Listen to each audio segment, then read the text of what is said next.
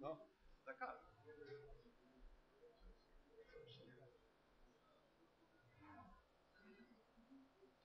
A co ty? Dziś znowu? Co? No, żeby żeby nie było później.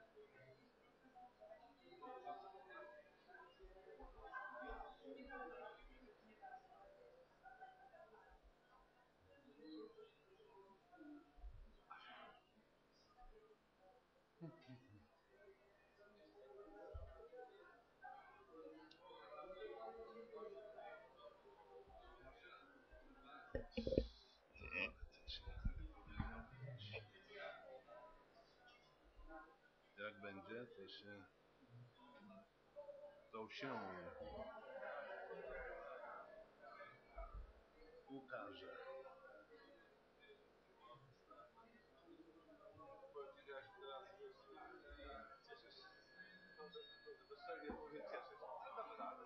Ile u nas jest? 17.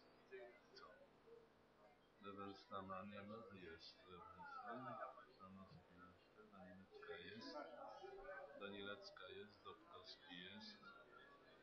Pardo nie wiem. Maciejewska jest. Pani Beato!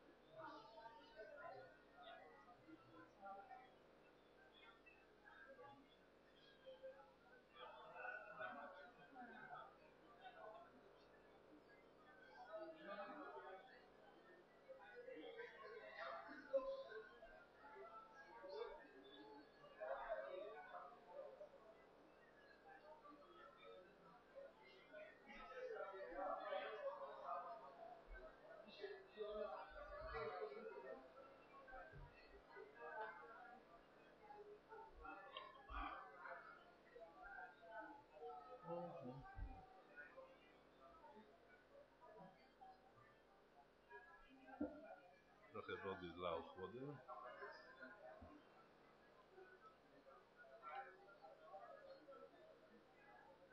Proszę? Tak, tak, dzwoniłem do, do mnie, czy być. To, co będą pewnie prezentować.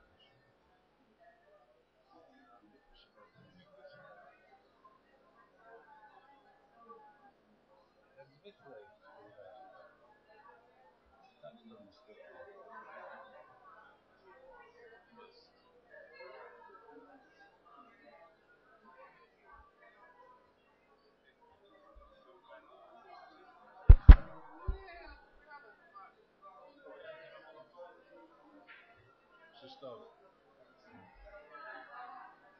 Ja czekam na... Ja wiem, tylko to on ma.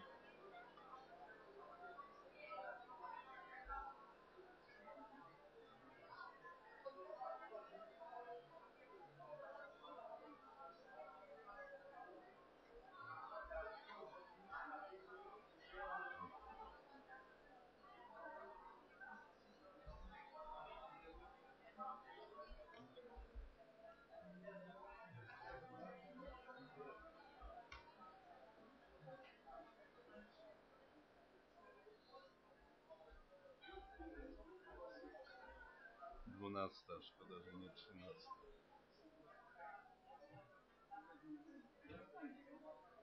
Co? No, kogo jeszcze nie ma? Pardon? Danilecki. Danilecki. A pardon?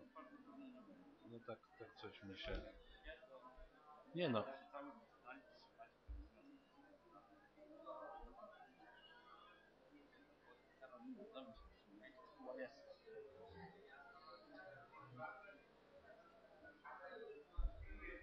Bardzo proszę koleżanki i kolegów o zajęcie miejsc. Rozpoczynamy sesję.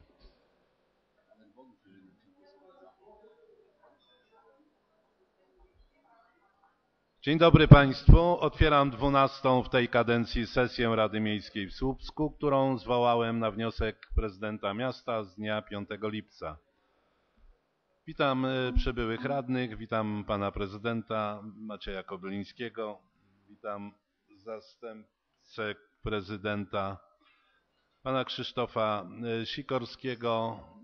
Miło mi powitać wszystkich uczestniczących w dzisiejszych obradach. Stwierdzam, że w sesji uczestniczy 20. Przepraszam, proszę jeszcze raz y, listę, bo nie wiem, czy 21, czy 20.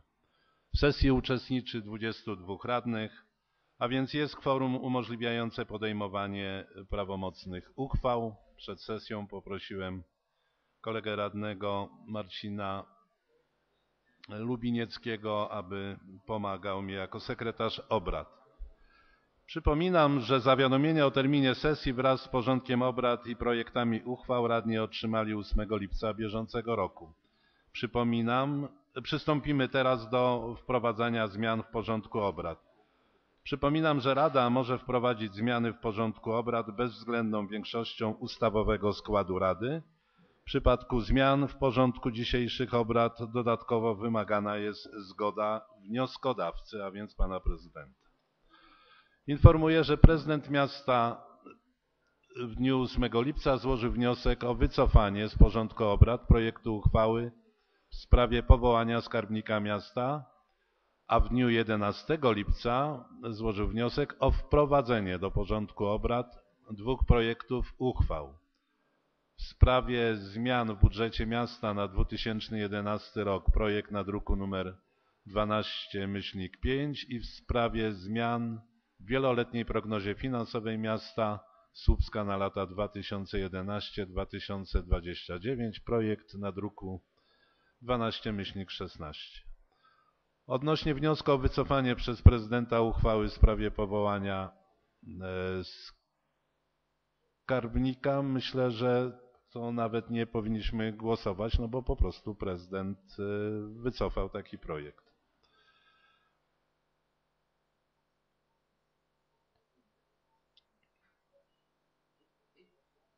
Zanim poddam pod głosowanie uzupełnienie porządku obrad, proszę pana prezydenta albo kogoś, pana dyrektora Wydziału Finansowego Tomasza Franciszkiewicza o przedstawienie projektów uchwał i uzasadnienie, o, które, o których wprowadzenie wnioskuje pan prezydent. Bardzo proszę. Panie Prezydencie, Panie Przewodniczący, Wysoka Rado, w związku z tym, że po ostatniej sesji Rady Miejskiej wpłynęły wnioski do zmian w budżecie, dotyczy to Zarządu Transportu Miejskiego, w ogóle dotyczy to, konsekwencja jest uchwały z dnia 27 kwietnia w sprawie połączenia jednostek Zarządu Transportu Miejskiego w Słupsku, Zarządu Terenów Zieleni Miejskiej, Cmentarzy Komunalnych w Słupsku oraz Zarządu Dróg Miejskich oraz powołanie nowej jednostki Zarządu Infrastruktury Miejskiej. W związku z tym pojawiły się wnioski z tych jednostek o przesunięcie środków zarówno w planie wydatków, jak i dochodów dotyczących zadań inwestycyjnych oraz wydatków bieżących. Projekt uchwały 12.5 zmiany w budżecie wyczerpuje te wszystkie wnioski oraz takie samo jest uzasadnienie dla uchwały w sprawie zmian w wieloletniej prognozie finansowej miasta Słupska na lata 2011-2029, druk nr 12.6. Dziękuję. E, dziękuję. Proponuję, aby w przypadku pozytywnego głosowania Rady projekty uchwał zostały umieszczone jako kolejne w drugim punkcie porządku obrad. Poddaję wnioski pod głosowanie. Kto z Państwa radnych jest za wprowadzeniem do porządku projektu uchwały w sprawie zmian w budżecie miasta e, Słupska na 2011 rok? Przypominam projekt na druku 12-5. Proszę o podniesienie ręki i naciśnięcie przycisku. Dziękuję. Kto jest przeciwny? Dziękuję. Kto się wstrzymał? Dziękuję. Pan Izydor Orlik, gdyby zechciał. Już oddał już, tak? Dobrze. Wszyscy obecni na sali oddali swój głos. Proszę wynik głosowania. Głosowało 22 radnych. 18 głosów oddano za, 3, gros, 3 głosy były przeciwne, 1 głos wstrzymujący się. Stwierdzam, że Rada uwzględniła wniosek prezydenta o zmianę porządku obrad. Kto jest za wprowadzeniem do porządku projektu uchwały w sprawie zmian w wieloletniej prognozie finansowej miasta Słupska na lata 2011-2029? Przypomnę projekt na druku nr 12 myślnik 6. Kto z Państwa jest za? Proszę podniesienie ręki i naciśnięcie przycisku. Kto jest przeciw? Kto się wstrzymał? Dziękuję. Wszyscy obecni oddali głos. Proszę wynik. Głosowało 22 radnych, 18 głosów oddano za, 2 głosy były przeciwne, 2 głosy wstrzymujące się. Stwierdzam, że Rada uwzględniła wniosek prezydenta miasta o, o zmianę porządku obrad. Czy ktoś z radnych chciałby zgłosić wniosek dotyczący porządku obrad? Przepraszam, nie widzę. Z... Proszę planszę o zgłoszenia. Nie widzę zgłoszeń. Stwierdzam, że Rada Miejska obradować będzie w dniu dzisiejszym zgodnie z porządkiem przesłanym w, zawiadomieniu o sesji z uwzględnieniem zmian wprowadzonych przez Radę w drodze głosowania oraz z faktem wycofania przez prezydenta miasta jednego projektu uchwały. Podjęcie uchwały w sprawie utworzenia Agencji Promocji Regionalnej Ziemia Słupska, spółka z ograniczoną odpowiedzialnością w Słupsku. Projekt na druku nr 12 łamane przez 2. Przypominam, że projekt uchwały z załącznikiem oraz uzasadnieniem radni otrzymali w korespondencji. Proszę pana Włodzimierza Wolskiego, który w imieniu pana prezydenta przedstawi uzasadnienie do tego projektu. Bardzo proszę. Szanowny Panie Przewodniczący, Panie Prezydencie, Szanowni Radni, zebrani goście. Y, moje wystąpienie jest podzielone na trzy części. Y, pierwsza część będzie to uzasadnienie y, do uchwały, druga część to będzie prezentacja, którą wspólnie przygotowaliśmy. Natomiast w trzeciej części chciałbym przedstawić pismo, które jeśli Państwo zagłosują za przyjęciem uchwały, chcielibyśmy skierować do sąsiadujących samorządów. Zacznę więc od uzasadnienia.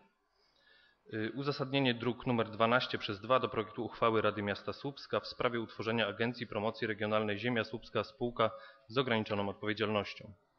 W związku z decyzją o likwidacji Biura Promocji i Integracji Europejskiej jako komórki organizacyjnej Urzędu Miejskiego w Słupsku oraz powszechnym oczekiwaniem dotyczącym wyprowadzenia działań związanych z promocją miasta i subregionu Ziemia Słupska poza struktury urzędu proponuje się utworzenie kapitałowej spółki komunalnej Agencja Promocji Regionalnej Ziemia Słupska Spółka z ograniczoną odpowiedzialnością. Powołanie komunalnej spółki kapitałowej, która w swoim przedmiocie działalności przejmie obowiązki Biura Promocji i Integracji Europejskiej oraz Centrum Informacji Turystycznej Ziemia Słupska pozwoli na zachowanie ciągłości realizacji zadań z zakresu promocji miasta oraz obsługi informacyjnej ruchu turystycznego. Nowo powstała spółka posiadać będzie w swoim przedmiocie działalności wszystkie zadania, które do tej pory były wykonywane przez Biuro Promocji i Integracji Europejskiej i Centrum Informacji Turystycznej Ziemia Słupska. Ponadto będzie realizować wspólnie z sąsiednimi jednostkami samorządu terytorialnego, gminami i powiatem działania na rzecz promocji całego subregionu słupskiego.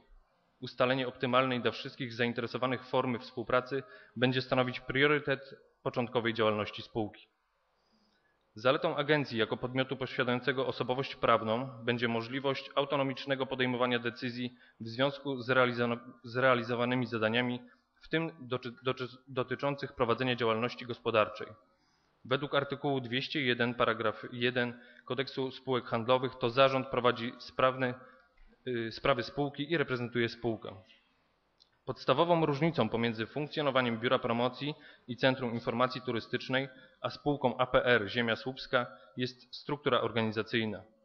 W przypadku spółki strukturę dobiera się do aktualnych zadań własnych i powierzonych, co czyni ją bardziej elastyczną i łatwiejszą w zarządzaniu, dając jednocześnie możliwość rozszerzenia struktury kapitałowej opartej o jednostki samorządu terytorialnego. Spółka jest także podmiotem przejrzystym w procesie kontrolingu. Artykuł 212 Paragraf pierwszy Kodeksu Spółek Handlowych mówi, że każdy wspólnik może w dowolnym momencie przeglądać księgi i dokumenty spółki oraz sporządzać bilans dla swego użytku lub żądać wyjaśnień od zarządu. Dodatkową formą kontroli w spółce ma Rada Nadzorcza, a pośrednią posiada także Komisja Rewizyjna Rady Miejskiej, która może monitorować wspólnika z częstotliwości przeprowadzonych kontroli w spółce. Powołanie spółki znajdzie odzwierciedlenie w procesach społeczno-gospodarczych miasta Słupska i subregionu. Podjęcie, podjęte działania przyczynią się do poprawy wizerunku miasta Słupska i ziemi słupskiej, zarówno wśród mieszkańców, jak i turystów. Będzie się to odbywało relatywnie mniejszym kosztem i w krótszym przedziale czasowym, czyniąc samą promocję bardziej dynamiczną i wyrazistą. Sprawne zarządzanie promocją spowoduje, że subregion Ziemia Słupska i Słupsk staną się bardziej atrakcyjnymi pod względem inwestycyjno-gospodarczym. Podstawą opracowania profilu nowej działalności stanowić będą cztery dokumenty, które były opracowane na potrzeby rozwoju miasta. Strategia rozwoju miasta Słupska 2007-2015 stanowiąca uaktualnioną wersję strategii rozwoju miasta Słupska uchwalonej 29 października 2003 roku, załącznik do uchwały nr 44 przez 342 przez 08 Rady Miejskiej w Słupsku z dnia 25 czerwca 2008 roku. Strategia rozwoju turystyki miasta Słupska na lata 2009-2013, druk nr 4313, załącznik 1 do uchwały nr 43 647 na 09 Rady Miejskiej w Słupsku z dnia 30 września 2009 roku. Strategia budowy marki miasta Słupsk na lata 2009-2015 Słupsk tu człowiek może więcej. Lokalny program rewitalizacji miasta Słupska 2009-2015 stanowiący uaktualnioną formę lokalnego programu rewitalizacji miasta Słupska uchwalonego w dniu 28 września 2005 roku. Wymienione dokumenty zostaną uaktualnione, uprzednio będąc poddanym gruntownej analizie, szczególnie uwzględniając ujęte w nich niezrealizowane i nieaktualne projekty. Po ustaleniu formy współpracy z sąsiednimi jednostkami samorządu terytorialnego opracowane przez nie dokumenty dotyczące rozwoju zostaną włączone do procesu przygotowania wspólnego profilu działalności. Ze względu na czas powołania spółki w połowie roku budżetowego sposób finansowania zaleca się podzielić na dwa etapy. Pierwszy z nich, przypadający na okres od 1 lipca, od lipca do grudnia 2011 ze środkami pochodzącymi z budżetu miasta w ramach przejęcia obowiązków Biura Promocji i Integracji Europejskiej oraz likwidacji Centrum Informacji Turystycznej, a także potencjalnych reklamodawców oraz z umowy ramowej zawartej pomiędzy spółką a miastem Słupsk. Kolejny etap będzie przygotowywany w procesie tworzenia planów zadaniowo-finansowych miasta Słupska na rok 2012 z uwzględnieniem innych zainteresowanych jednostek samorządu terytorialnego. Głównymi jego założeniami będą finansowanie działalności na podstawie podpisanej umowy starannego działania promocyjnej z miastem, przyjęcie częściowe, a docelowe kompleksowe zadań promocyjnych pozostałych podmiotów miejskich na zasadzie usług, pozyskanie partnerów zewnętrznych, w szczególności jednostek samorządu terytorialnego ziemi słupskiej oraz prowadzenie działalności gospodarczej polegającej na świadczeniu usług z zakresu komunikacji społecznej, marketingu miejsca oraz poligrafii reklamy, a także sprzedaży lokalnych publikacji, upominków i pamiątek. Agencja Promocji Regionalnej Ziemia Słupska spółka z ograniczoną odpowiedzialnością w założeniu ma być jednym z głównych podmiotów kreujących nową jakość marki Słupska i liderem przedsięwzięć zmierzających do realizacji wyznaczonych celów, a w szczególności znaczącego udziału w rynku promocyjnym, koordynacji działań marketingowych, budowy autorytetu wśród pozostałych partnerów, wzmocnienia przekazu idei dwumiasta Słupsk-Ustka. APR Ziemia Słupska ma być naczelnym dyplomatą w kontaktach zewnętrznych oraz profesjonalnym źródłem pozyskiwania nowych możliwości rozwoju. Proponowany model przedsięwzięcia funkcjonuje już w wielu miastach Polski, m.in. we Wrocławiu, w Gdyni i w Chojnicach. Z uwagi na powyższe utworzenie spółki komunalnej Agencja Promocji Regionalnej Ziemia Słupska spółka z ograniczoną odpowiedzialnością należy uznać za uzasadnione.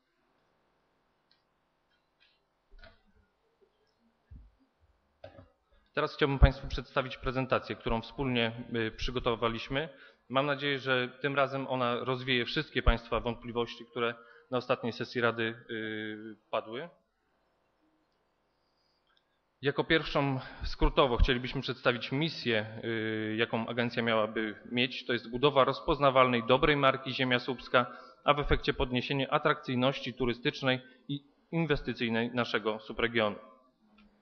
Jeśli chodzi o wizję, mamy tutaj przypis, gwiazdkę, która y, odnosi się do strategii budowy marki miasta Słupska na lata 2009-2015 i y, głównymi jej elementami będą główny podmiot i lider w subregionie, koordynator wspólnych działań, naczelny dyplomata w kontaktach, negocjator jako źródło pozyskiwania nowych możliwości rozwoju, autorytet wśród innych partnerów.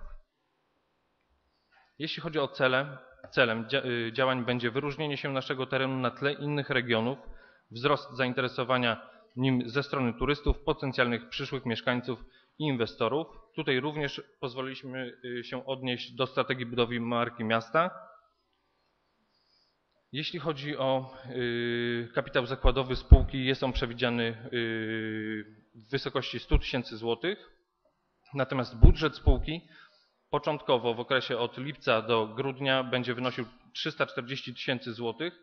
Jest to związane z środkami, które w tym momencie są w budżecie miasta i są one na naszej prezentacji wymienione, czyli środki pieniężne i trwałe Biura Promocji i Integracji Europejskiej, te, które pozostały, śro- środki pieniężne i trwałe CIT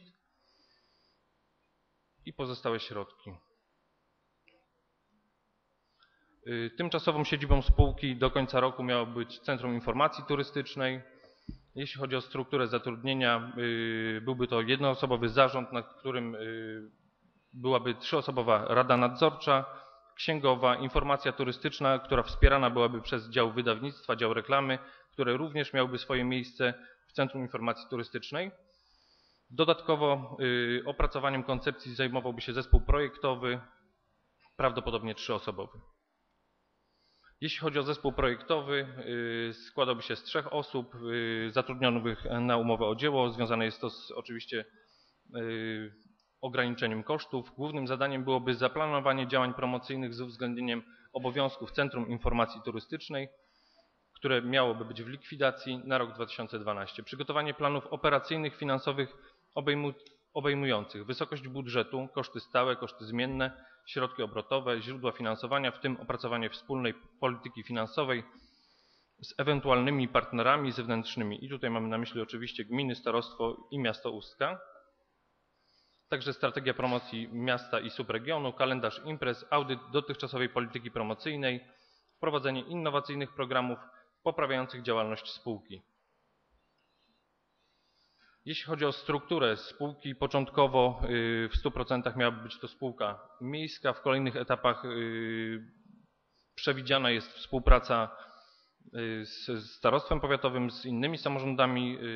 Zresztą na koniec prezentacji chciałbym Państwu odczytać list intencyjny, który jest tego dowodem.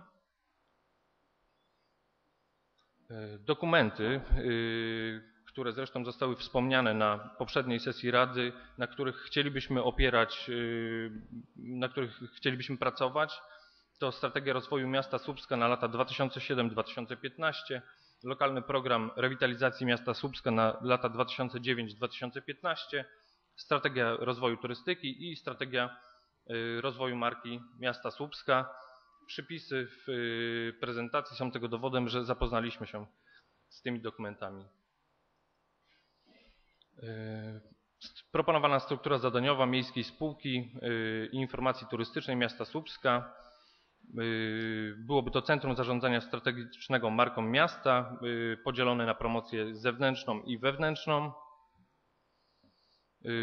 Znaczny udział w tej strukturze miałoby mieć Centrum Informacji Turystycznej i tutaj te obszary działania, czyli wcześniej wspomniane miasto Słupsk, okolice, powiat, dwumiasto, a także y, współpraca zagraniczna. Główne filary, na których chcielibyśmy, aby y, oparła się spółka to biznes, sport, turystyka, kultura i edukacja oraz ekologia.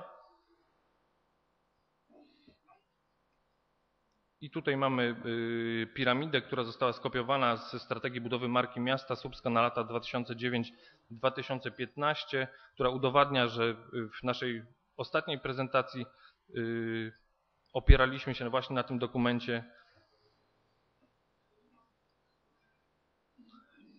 Spółka miałaby zająć się konsolidacją działań w celu wzmocnienia działań promocyjnych markę Subsk oraz Subregion i sposób realizacji, wspólne wydawnictwo y, promocyjne, informacyjne o inwestycjach miejskich, czyli przede wszystkim trakt książęcy, park wodny i budowa ringu, wspieranie poprzez publikacje, metoda tradycyjna, internetowa, informacji o lokalnych handlu i usługach, promowanie lokalnego handlu i usług za pośrednictwem CIT, wykorzystanie dużego potencjału promocyjnego Słupska, słupską gospodarką poprzez PAR i SIPH, organizowanie imprez plenerowych y, promujących gospodarkę i lokalny biznes, biznes. Choćby tutaj mamy Słupskie Dni Gospodarki, które mogłyby się stać na przykład y, regionalnymi dniami gospodarki. I tutaj mamy też wymienione filary. Konsolidacja działań y, Przykładowy sposób realizacji to mamy sponsor, y, tutaj mamy y, odnośnie sportu. Główne filary to y, Energa Czarni Słupsk, y, Gryf Słupsk i Czarni Słupsk Klub Bokserski. I formy to jest sponsorowanie klubów, wspieranie finansowo-marketingowe pozostałych dyscyplin sportowych i zamieszczanie informacji na temat lokalnego sportu w publikacjach prasowych i materiałach promocyjnych.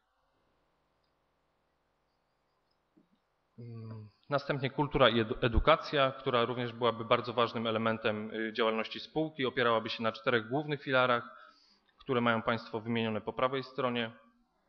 I przykładowe sposoby realizacji to wykorzystanie dorobku placówek kulturalno-oświatowych, przedstawienia plenerowe, wspólne konferencje naukowe, wspieranie różnego rodzaju konkursów na temat ziemi słupskiej i regionu, publikacje osiąg y, osiągnięć kulturalno-edukacyjnych w lokalnej prasie i folder, y, folderach informacyjnych. I turystyka, która by była jedną z ważniejszych gałęzi naszej działalności. Yy, Również mamy filary, na których by się yy, opierała nasza działalność. Tutaj Muzeum yy, Pomorza Środkowego cały zakres, to znaczy także oddział w Swołowie i w Klukach. I przykładowe sposoby realizacji to wspieranie działań mających na celu zwiększenie atrakcyjności turystycznej ziemi słupskiej regionu, stałe uczestnictwo w imprezach plenerowych, wspólne publikacje folderów w formie tradycyjnej, elektronicznej, wspólny udział w targach turystycznych, wykorzystanie szerokiej gamy środków masowego przekazu w celu podniesienia atrakcyjności turystycznej, organizowanie imprez plenerowych mających na celu zintegrowanie nasz, y, naszych mieszkańców z, regiona, z regionem oraz turystami. Ekologia, y, również filary, które, y, z którymi widzimy współpracę i przykładowy sposób realizacji wspólne działania mające na celu prowadzenie szerokiej kampanii informacyjnej, wykorzystanie ogromnego dorobku w dziedzinie ochrony środowiska poprzez spółki zaangażowane w ekologię, wykorzystanie innowacyjnych technologii stosowanych przez spółki, działalność edukacyjna, wspólny udział w imprezach targowych i wystawienniczych, tutaj choćby na przykładzie Poleko. I także y, odnośnie gazety, którą spółka miałaby wydawać, y, kluczowe działania etapu startowego to cel komunikacyjny, poinformowanie o pracy nad marką miasta i zbudowanie zaufania do marki, uwidocznienie polepszającego się standardu życia w mieście, zachęcenie do korzystania z oferty kulturowej Słupska, zaproszenie do współtworzenia miasta, zachęcenie do dzielenia się pomysłami i wspólnej realizacji zadań w przestrzeni miejskiej. Cel strategiczny to wzmocnienie identyfikacji z miastem, integracja mieszkańców i władz miasta, jak zainicjować proces komunikacji z grupą, od czego zacząć. Tutaj mamy przypis strategii budowy marki miasta Słupska na lata 2009-2015, który podkreśla, że promocja wewnętrzna jest y, bardzo istotna i że gazeta może być dobrym przekaźnikiem i podstawowym elementem komunikacji musi być informacja o pracach nad marką miasta. W dalszych krokach należy skoncentrować się na działaniach integrujących mieszkańców oraz mieszkańców z władzami miasta. Dziękuję za uwagę i jeszcze pozwolę sobie odczytać yy, wspomniany przeze mnie wcześniej list intencyjny, który chcielibyśmy po yy, ewentualnym zatwierdzeniu przez Państwa uchwały skierować do yy, samorządów. Wszyscy jesteśmy mieszkańcami jednego regionu, Pomorza Środkowego. Od ponad 65 lat, niezależnie od ustroju i podziałów administracyjnych, poprzez kolejne pokolenia wrastamy w tę ziemię, sąsiadujemy ze sobą, przenikamy wzajemnie każdego dnia, czy jesteśmy tego świadomi, czy nie. Wspólnie tworzymy historię Środkowego Pomorza, jego teraźniejszość i przyszłość. W czasie tych blisko siedmiu dziesięcioleci zdarzyły się sytuacje, kiedy szeroko rozumiana ziemia słupska stanowiła jedność. Obowiązu- Obowiązujący obecnie ustrój samorządowy ma swoje ogromne zalety, gdyż czyni nas gospodarzami naszych miejsc na ziemi, ale jako, że nie ma rzeczy idealnych, ma też swoje wady. Jedną z nich jest to, że z natury tego ustroju wszyscy bardzo jesteśmy zapatrzeni w naszą y, własną lokalność i zapominamy nieco o sprawach, które w swojej istocie są nam wszystkim wspólne. Tymczasem, po pierwsze, nie żyjemy w próżni. Po drugie, razem możemy zdziałać znacznie więcej, gdyż nie od dzisiaj wiadomo, że przecież w jedności siła. Mam tu na myśli przede wszystkim wspólną działalność, której celem byłaby szeroka, rozumiana zewnętrzna i wewnętrzna promocja naszego regionu oraz wszelkich atutów tej ziemi. Miasto Słupsk zamierza powołać do życia spółkę, której zadaniem byłaby realizacja działań promocyjnych dla potrzeb miasta i podmiotów zewnętrznych. Jest zatem rzeczą oczywistą, że proponuję najbliższym sąsiadom by przyjrzeli się temu pomysłowi ze, swoją, ze swojej perspektywy, gdyż może to być stosunkowo tani sposób na profesjonalną promocję państwa, gmin, miast. W nowej spółce pracować będą specjaliści z bogatym doświadczeniem i wiedzą na temat strategii promocyjnej, wizerunku oraz marki, a także w organizacji imprez promocyjnych, czyli tzw. eventów. Proponuję spotkanie w tej właśnie sprawie. W jego trakcie omówilibyśmy interesujące obie strony aspekty i ewentualnie, ewentualnie podpisali list intencyjny w sprawie porozumienia promocyjnego między naszymi samorządami. Jestem przekonany, że taka współpraca przyniesie wymierne korzyści obu naszym społecznościom. Dziękuję bardzo.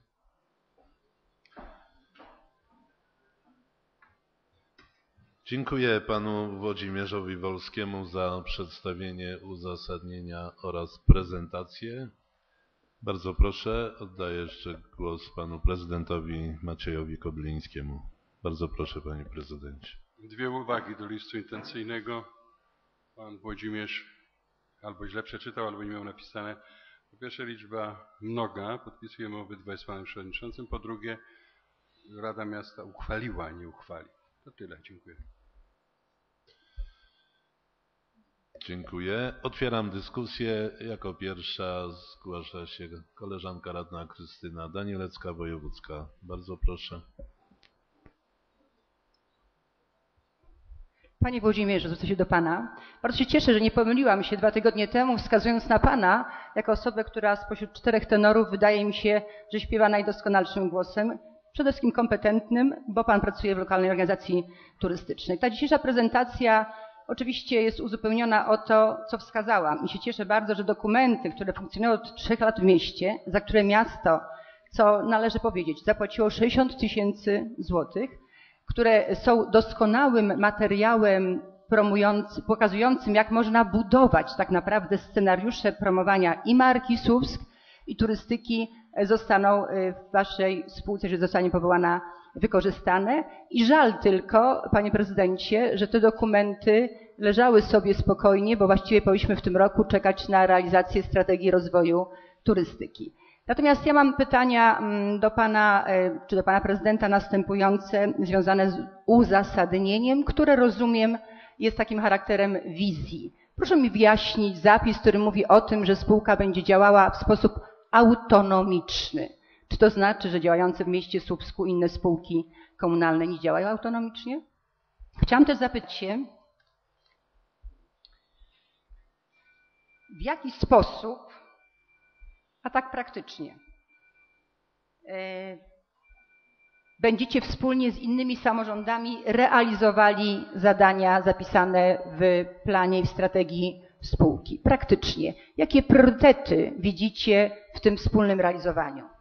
I chciałam zapytać o coś, co mnie y, na razie zastanawia, mianowicie głównymi założeniami będzie finansowanie działalności na podstawie podpisanej umowy starannego działania z miastem, przejęcie częściowe, a docelowo kompleksowe zadań promocyjnych pozostałych podmiotów miejskich na zasadzie usług.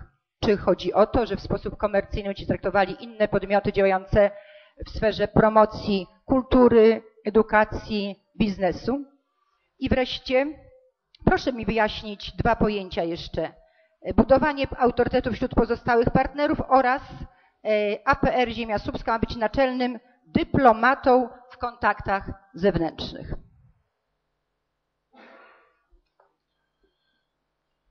Myślę, że y, ustalimy taki sposób dyskusji, że jest, są pytania i od razu po wypowiedzi radnego bardzo proszę o odpowiedź, żeby później nie umknęły nam niektóre kwestie.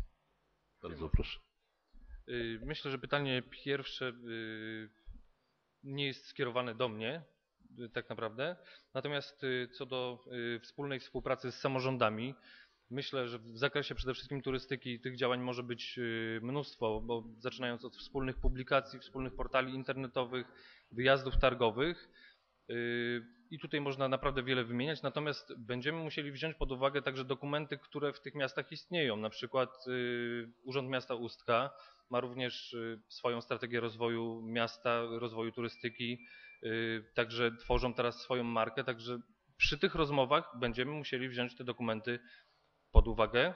A działań wspólnych myślę, że tutaj można wymieniać wiele i będzie zależało to tak naprawdę od chęci. Y, Co do pozostałych dwóch pytań pozwoliłbym y, poprosić o odpowiedź pana Tomasza Ziomka, jeśli można. Tak, bardzo proszę. Panie Przewodniczący, Panie Prezydencie, Szanowna Rado. Ja bym się chciał odnieść tak, do, do, do, do, pewnych, y, do pewnych pytań, tutaj, które padły ze strony Pani Krystyny. Na przykład, że spółka będzie autonomiczna. No to jest właśnie to, ta zaleta, że jeżeli ma spółka osobowość prawną, no to jest, y, można powiedzieć, chroniona przez polski system prawny. Może ja bardzo wyolbrzymiam, ale chodzi o to, że wszystkie jasne formy i kontroli, i zarządzania są opisane.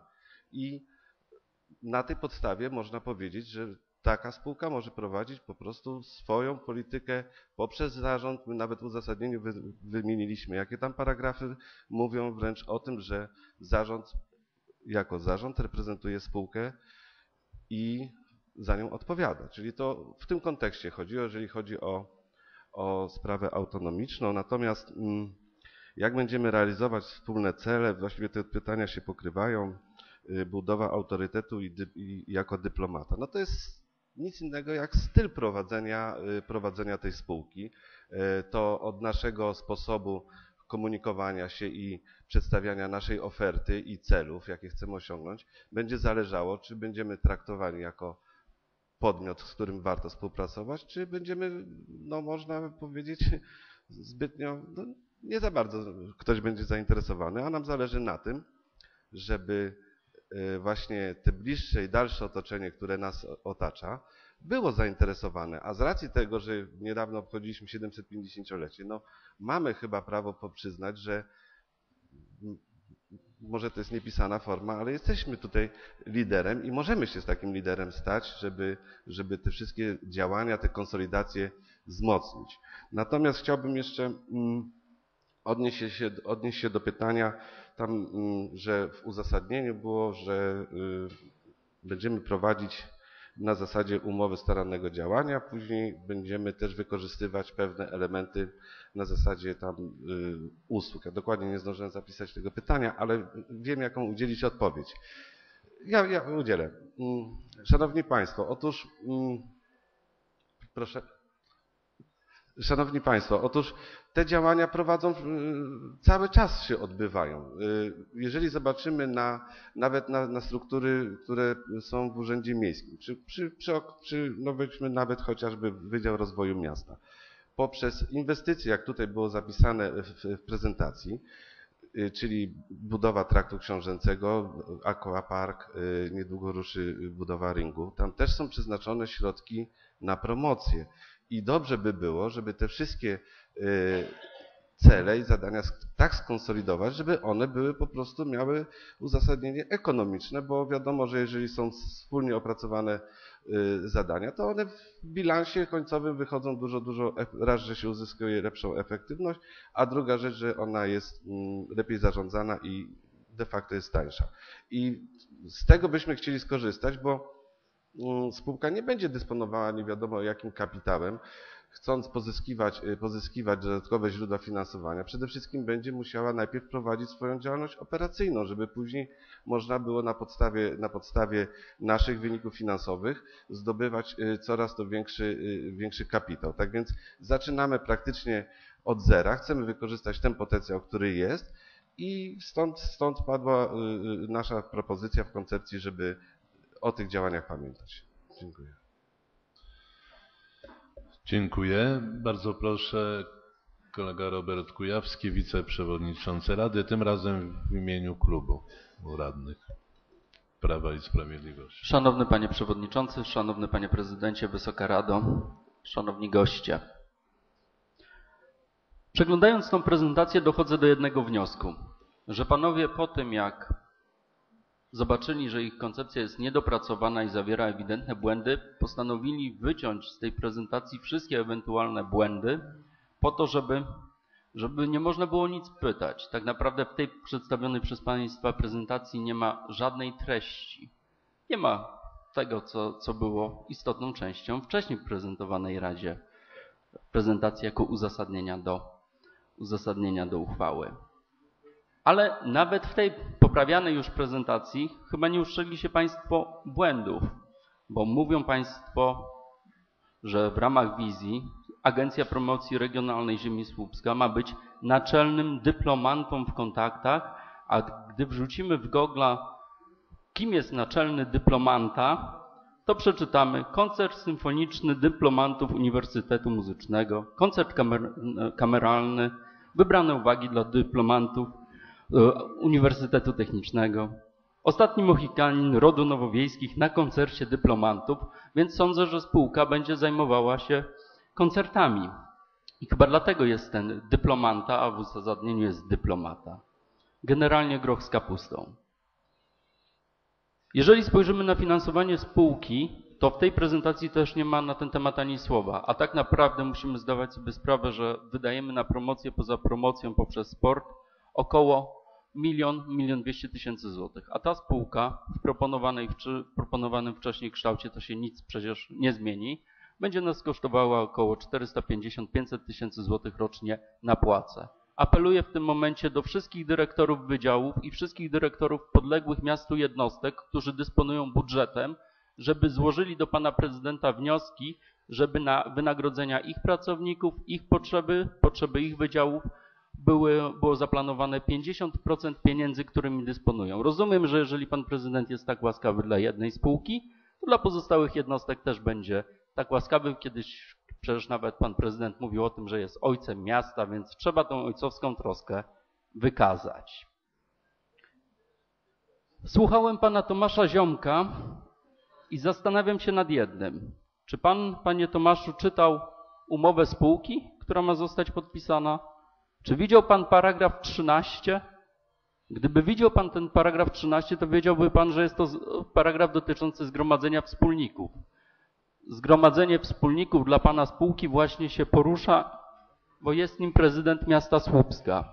I ten prezydent w paragrafie 13 ustęp 1, punkt 1 zatwierdza kierunek rozwoju spółki oraz jej roczne i wieloletnie programy działania. Najszersze uprawnienia w tej umowie spółki należą do pana prezydenta jako zgromadzenia wspólników. Więc autonomia, o której pan mówi, jest raczej wątpliwa. W tej umowie spółki jest jeszcze jedna bardzo ciekawa rzecz. Mianowicie zarząd. Zarząd spółki składa się od jednego do czterech członków, w tym zawsze prezesa zarządu i wiceprezesa w przypadku zarządu wieloosobowego. No sądzę, że za chwilę zespół projektowy okaże się członkami zarządu. A ten zespół projektowy to można wymieniać nawet osoby, które w tym zespole będą, bo są trzy. Odliczamy pana Mięczewskiego, zostają panowie, który, którzy prezentujecie nam ten dokument. A na koniec mam też pytania i prosiłbym mi o wytłumaczenie. Zgodnie z umową spółki, państwa agencja ma się zajmować między innymi takimi rzeczami. Sprzedaż detaliczna prowadzona w niewyspecjalizowanych sklepach z przewagą żywności, napojów i wyrobów tytoniowych. Hotele i podobne obiekty zakwaterowania. Obiekty noclegowe, turystyczne, miejsca krótkotrwałego zakwaterowania, przygotowanie podawania napojów, restauracje i inne stałe placówki gastronomiczne, zarządzanie nieruchomościami wykonywane na zlecenie, działalność obiektów sportowych oraz sprawy zagraniczne. Chciałbym, żeby Państwo szczegółowo Radzie powiedzieli, na czym ma polegać Państwa działalność w tym zakresie. A na koniec, to się odnosi trochę też do uchwały, która jest konsekwencją. Mamy przeznaczyć na kapitał zakładowy tej spółki 100 tysięcy złotych. 80 tysięcy złotych to są oszczędności na płacach. Chyba od dwóch lat pracownicy urzędu nawet nie mieli waloryzacji. A my już 100 tysięcy z oszczędności na płacach daliśmy na promocję, teraz dajemy kolejne 80. To tak, panie prezydencie, jakby rodzina zaciskała pasa tylko po to, żeby te pieniądze na koniec miesiąca przebalować. I szkoda, że w taki sposób pan chce zarządzać także tą spółką i tak przekazywać pieniądze. Dziękuję. Dziękuję. Czy chcieliby Państwo się odnieść do tego? Ale to proszę, może ten, już zaraz, to w takim razie kolega Krzysztof Kido za chwilę jeszcze raz. Proszę uprzejmie Pan Prezydent Miasta. Panie Przewodniczący, Wysoka Rado, poprosiłem dwóch panów, żeby nie udzielali odpowiedzi, ponieważ przypomniałem się w tym momencie recenzja, jaką zrobiono po wydrukowaniu słynnej skądinąd balladyny. jeden z krytyków napisał mianowicie, zupełnie nie wiem, co to za utwór. Poszły dwie panie na jagody, jedna drugą zamordowała, od i cała balladyna. Tak samo próbuje tą formą działania zachowywać się pan y, radny. Dlatego nie widzę powodu, żeby panowie odpowiadali. Tam są pomyłki oczywiście, jak chodzi o tych dyplomantów. Pewnikiem to inni wyjaśnią. Reszta pytań jest bezprzedmiotowa. Dziękuję. Dziękuję. E, Kolega radny Krzysztof Kido, proszę uprzejmie. Panie Przewodniczący, Panie Prezydencie, koleżanki i koledzy radni. Na zwyczajnej sesji w czerwcu prezentowany był projekt tej uchwały wraz z uzasadnieniem. Wzbudziło to emocje wśród niektórych i chyba dobrze się stało, że wraca temat promocji w formie zorganizowanej spółki, ale prezentacja została przedstawiona nam zupełnie inaczej niż to było w uzasadnieniu uchwały. Ja myślę, że jest to istotna różnica. Po pierwsze, zostały uwzględnione postulaty radnych co do kierunków działania. Zostały wskazane bardzo precyzyjnie cele strategiczne oraz cele poboczne i możliwe sposoby realizacji. Oczywiście prezentacja ta nie wyczerpuje wszystkich możliwości, które daje taka forma organizacyjna, jaką jest spółka. Bardzo nie odpowiada mi taki prześmiewczy ton, który zaprezentował pan przewodniczący Kujawski, bo nie jest to ocena merytoryczna tego, co usłyszeliśmy, tylko próba deprecjacji osób, które to zaprezentowały. Nasz klub będzie z całym spokojem głosował za powołaniem tej spółki, wiedząc, jakie cele możemy osiągnąć. A kwestia promocji jest nie do przecenienia, proszę Państwa. Jeden prosty zabieg, Panie Przewodniczący, proszę o przedłużenie czasu, bo chciałem tylko w imieniu klubu jeszcze dodać kilka zdań.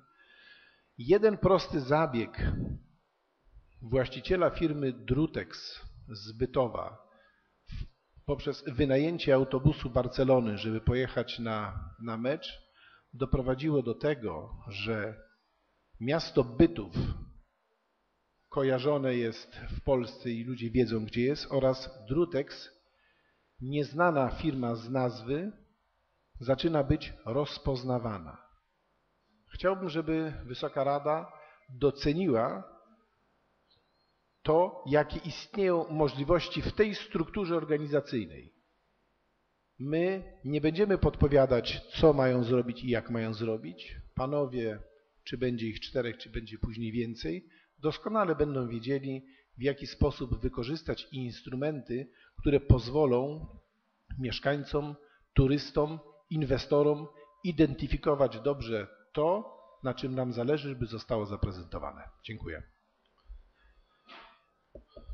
Dziękuję. Koleżanka Beata Chrzanowska, przewodnicząca klubu radnych PO. Panie Przewodniczący, Panie Prezydencie, e, Szanowni Państwo, właśnie w imieniu klubu chciałabym e, zabrać głos. Otóż na poprzedniej sesji Rady w imieniu klubu mówiłam o tym, że nie podoba nam się dotychczasowa forma e, promocji naszego miasta. Mówiłam o powodach. Właśnie ten powód to między innymi to, że miasto było promowane w sposób niewłaściwy. Stąd był właśnie taki pomysł Platformy przywoływany w kampanii wyborczej e, sprzed roku, żeby promocją zajęła się instytucja zewnętrzna. Jeszcze raz powtórzę, że nam zależy na tym, aby mając do dyspozycji takie, a nie inne środki, została zbudowana dobra marka miasta Słupska. E, podjęcie tej uchwały poprzednim razem, czyli dwa tygodnie temu, było trochę niemożliwe, a to z powodu, z, natło, z powodu natłoku pewnych informacji. Wtedy rzeczywiście mieliśmy wątpliwości. Gdyby ta koncepcja była zaprezentowana w taki sposób jak dzisiaj, tych wątpliwości z pewnością by nie było. E, wspomnę również o tych wątpliwościach w postaci e, przywoływanej wówczas strategii, a przede wszystkim e, strategii, strategii rozwoju turystyki miasta na lata 2009-2013. I jak się okazało, po takiej głębszej analizie tego dokumentu, to nie jest scenariusz, ale taki, taka rekomendacja dotycząca atrakcyjności turystycznej miasta, bazy czy tak zwanych produktów wiodących. Ja chciałabym w tym momencie przypomnieć uzasadnienie uchwały, takie uzasadnienie uchwały, które wprowadziło tę właśnie strategię e, rozwoju miasta. Tam między innymi mówiło się o tym, że realizacja zapisów strategii wpłynie na zwiększenie atrakcyjności Słupska jako celu turystycznych przyjazdów i pozwoli na precyzyjne ukierunkowanie promocji miasta. Tam jest wiele informacji mówiących również o tym, że konsekwentna realizacja tej koncepcji i jej ponadczasowy charakter stwarzają szansę na uczynienie ze Słupska miasta o konkurencyjnej skali regionu i kraju ofercie. Również mówi się tam o tym, że Środowisko opiniotwórcze miasta rozumie również, że okres 2013 jest rokiem kluczowym do pozycjonowania miasta na kolejne dekady. Jesteśmy na półmetku tego okresu pomiędzy rokiem 9 a 13. I należy zadać sobie tutaj takie pytanie, dlaczego pomimo takiej strategii do tej pory nie stworzono okazji, aby ona była w pełni zrealizowana? Ja nie wiem, czy zabrakło nam entuzjazmu, jakiejś chęci, czy po prostu energii. Warto sobie również zadać pytanie, dlaczego spółka? Otóż e, naszym zadaniem łatwiej i lepiej będzie można nadzorować celowość tych przedsięwzięć i efektywność wydatkowanych e, środków finansowych. Ponadto, jeśli takie zadanie będzie przypisane spółce, będzie ona, mam nadzieję, pełnić rolę koordynatora wszystkich działań promocyjnych w mieście. Dodatkowo spółka posiadając osobowość prawną ma możliwość prowadzenia działalności gospodarczej, a to również nie jest bez znaczenia, bo mam nadzieję, dzięki temu środków finansowych na promocję może być więcej. Dlaczego spółka o charakterze regionalnym? To też dlatego, żeby we współpracy z innymi samorządami wykorzystać potencjał ten, który, o, o którym wiemy. Ja rozumiem jakieś takie drugie dno i przypisywanie pewnie jakichś e, zamiarów, ale ja chciałabym e, może rozwiązać pewne wątpliwości, przywołując jeden z artykułów ustawy Kodeks Prawa, e, Kodeks Spółek Handlowych. Tylu prawników jest na sali, więc wszyscy z pewnością o tym wiedzą. Jest tam taki artykuł dotyczący e, tego, że kto biorąc udział w tworzeniu spółki handlowej, będąc jej członkiem jej zarządu, rady nadzorczej, działa na jej szkodę, podlega karze pozbawienia wolności i grzywnie. Ponadto tej samej karze podlega ten, kto nakłania do działania na szkodę spółki lub udziela pomocy do popełnienia takiego przestępstwa. Platforma Obywatelska zagłosuje za. Umożliwimy powstanie tej spółki tylko wtedy, gdy spełnione zostaną pełne, pewne warunki. I o tych warunkach chciałabym powiedzieć. Po pierwsze, do końca roku nowo powstała spółka nawiąże współpracę z co najmniej trzema samorządami. Jeszcze. Nawiąże współpracę z co najmniej trzema samorządami powiatu słupskiego w celu realizacji wspólnych zadań promocyjnych na posiedzeniu we wrześniu tego roku przedstawiciel spółki przedstawi nam harmonogram działań i ewentualnie efekty tych działań, jeśli już takie będą. Drugie to spółka, spółką będzie zarządzał prezes wyłoniony w drodze konkursu.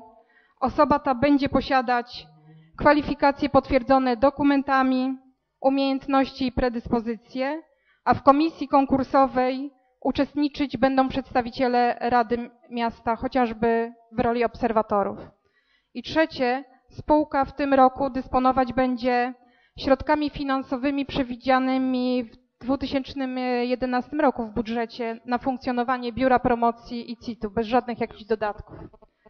I w przypadku niezrealizowania któregokolwiek warunku radni Platformy przy uchwaleniu budżetu miasta na 2012 rok będą przeciwni przyznaniu jakichkolwiek środków finansowych nowo powstałej spółce, co jest związane z automatyczną likwidacją tej spółki. Dziękuję. Dziękuję. Kolega Tadeusz Bobrowski, przewodniczący klubu Prawa i Sprawiedliwości. Panie Przewodniczący, Panie Prezydencie, Wysoka Rado. No ta sesja przejdzie nadzwyczajna do pewnego historii, pewnej historii, jeżeli chodzi o Platformę Obywatelską. Klub i ja uważamy, że należy pozbywać się działalności gospodarczej samorządu. To samo stanowisko prezentuje Naczelna Izba Kontroli, która wnioskuje do prezesa Rady Ministrów o podjęcie inicjatywy legislacyjnej w, w kierunku doprecyzowania przepisów artykułu 10 ustawy o gospodarce komunalnej określających zasady tworzenia i przystępowania jednostek samorządu terytorialnego do spółek handlowych poza sferą użyteczności publicznej w sposób zapewniający zachowanie przepisu artykułu 163 i 166 Konstytucji RP, określającego działalność samorządu tylko do zadań publicznych. To jest protokół z czerwca bieżącego roku, na który się pan prezydent bardzo obraził. To jest sfera NIK-u. Uważamy, że powinniśmy dokonać prywatyzacji i to szybkiej spółki RZI, która świadczyła swoje usługi dla samorządu lokalnego naszego miasta drogo i bardzo drogo. Jej usługi na rynku słupskim można było pozyskać o 50% tańsze. To znaczy świadczyła inwestor, jako inwestor zastępczy, biorąc 3, 4, nawet 5% wartości inwestycji, gdzie takie same usługi można było pozyskać za 1,5%, 2%. Uważamy, że STBS nie ma zajęcia, ponieważ decyzją rządu niekontynuowana jest budowa mieszkań w systemie STBS, powinien być połączony z PGM-em, bo się dubluje. Powinniśmy zlikwidować tą spółkę. Uważamy, że pan prezydent powinien dokonać restrukturyzacji w trybie pilnym, zakończyć, a nie cofać się, jak zrobiono, mówię o spółce MZK, i wykonać uchwałę Rady Miejskiej o prywatyzacji. Jeżeli klub Prawa i Sprawiedliwości mówi o prywatyzacji, jeżeli mówi o, o nieprowadzeniu działalności gospodarczej przez samorządy, a Platforma, Platforma Obywatelska jest przeciwko, to ja tu czegoś nie rozumiem. Świat zaczyna się przewracać. Dziękuję. Dziękuję. E, koleżanka radna Anna Bogucka-Skowrońska, a kolegów, a kolegę proszę o nie wprowadzanie zupełnie znowu wiecowego sposobu dyskutowania. Szanowni Państwo, ja się dziwię, że Pan Prezydent jest przekonany, że Alina i Balladyna zbierały jagody. To po pierwsze. Po drugie, y, y, bo nie zbierały. Y, po drugie, Pan Prezydent miał czas, żeby rozmawiać już z samorządami, bo wiedział, że są dyskusje i że kontestują radni powołanie spółki miejskiej bez udziału innych samorządów. Ten list intencyjny, jaki dzisiaj był nam zaproponowany, świadczy o tym, że pan prezydent ma kłopoty z nadmiarem własnej lokalności i sugeruje to innym. Tak nie jest. Mogły już być rozmowy. Ja nie wierzę w to, że pan prezydent zrealizuje e, te uwagi, które przedstawiła koleżanka w imieniu klubu Platformy Obywatelskiej. Moje stanowisko jest jasne i nie uległo zmianie, ale ponieważ ja nie chcę być nielojalna w stosunku do własnego klubu, nie wezmę udziału w głosowaniu, ale chcę dokonać pewnego gestu symbolicznego. Chcę pokazać panu prezydentowi żółtą kartkę. To jest pierwsza żółta kartka. Trzy to będzie kartka czerwona. Nie może być tak, żeby radni byli stawiani przed ścianą tylko dlatego, że pan prezydent uważa wzorem Ludwika XIV, że Słupsk to ja. Ten konsensus z radnymi powinien był być wypracowywany już wcześniej. Dziękuję bardzo. Panie prezydencie, ja już prosiłem przed chwilą jednego radnego, aby nie stosował takiej formy. E, kolega Robert Kujawski, wiceprzewodniczący Rady. Szanowny Panie Przewodniczący, Szanowny Panie Prezydencie, Wysoka Rado. Niestety, po raz drugi mam w tej kadencji pewne déjà vu. Pamiętam, jak dyskutowaliśmy nad uchwałą w sprawie utworzenia superfirmy, jak to zostało nazwane, czyli Zarządu Infrastruktury Miejskiej. Pamiętam projekty uchwał, pamiętam wątpliwości radnych z Platformy Obywatelskiej, pamiętam także to, że po miesiącu w uchwale nic się nie zmieniło, zasady się nie zmieniły, dostaliśmy pół analizy SWOT i radni Platformy zmienili zdanie. I teraz już wiem po wystąpieniu koleżanki Beaty Chrzanowskiej, dlaczego pan prezydent prostował czytany list intencyjny, że Rada podjęła. No tak, widocznie było to niestety uzgodnione, że zostanie, że zostanie ta uchwała podjęta. Ale mimo wszystko chciałbym, żebym nie miał déjà na tej sesji. Bo tak naprawdę ta uchwała i umowa spółki, nad którą debatujemy, bo to jest istota, nie ta prezentacja, która jest pokazana, nie koncepcja. Istota to są zapisy samej uchwały, nie uzasadnienie i umowa spółki, która jest załącznikiem. To jest istota podejmowanej dzisiaj uchwały. Niczym się nie różni od tego, nad czym debatowaliśmy miesiąc temu. I mam nadzieję, taką żywię nadzieję, że ci radni, którzy mieli słuszne zastrzeżenia co do projektu tej spółki, a to się nie zmieniło ani na jotę, pozostaną sobą. Zagłosują tak, jak głosowali poprzednio. Dziękuję. Dziękuję. Koleżanka Krystyna Danilecka-Wojewódzka, przewodnicząca klubu. Skierować pytanie wprost do pana prezydenta Macieja Kobylińskiego. Prosicie go o odpowiedź nie przez osoby wyznaczone. Panie prezydencie, mm, dwa tygodnie temu zaproponowałam takie rozwiązanie, opierając się na tych dwóch dokumentach. Strategia rozwoju turystyki i jeszcze lepszy, na pewno bardziej przygotowany do promowania Słupska, strategia marki Słupsk. To naprawdę świetny dokument. Oczywiście strategia rozwoju turystyki wymaga e, pewnego e, modelowania, dlatego że pewne rzeczy są nieaktualne, ale to w, to czasie, w tym czasie można wykorzystać inne. Zaproponowałem, skoro mamy dwa, dwa doskonałe dokumenty, a tak naprawdę to jest wizja każdego podmiotu, który będzie działał, czy rozważał Pan możliwość e, ogłoszenia przetargu na realizację zapisów tych dwóch dokumentów, które są gotowe? Wydaje mi się, że realizacja będzie dużo tańsza, to po pierwsze. Po drugie, że będzie zabieg o to, żeby sposób realizacji był jednak niestandardowy, że damy szansę na rozwój przedsiębiorczości wielu innym ludziom, także młodym, którzy naprawdę mają bardzo poważne problemy z pracą. Jest mnóstwo ludzi wykształconych w zakresie turystyki, rekreacji, bo to są bardzo popularne i modne kierunki na różnych uczelniach. Wreszcie E, myślę, że będziemy rzeczywiście mogli mieć tę władzę e, bieżącego monitorowania realizacji tych dokumentów. To są dokumenty Rady Miejskiej.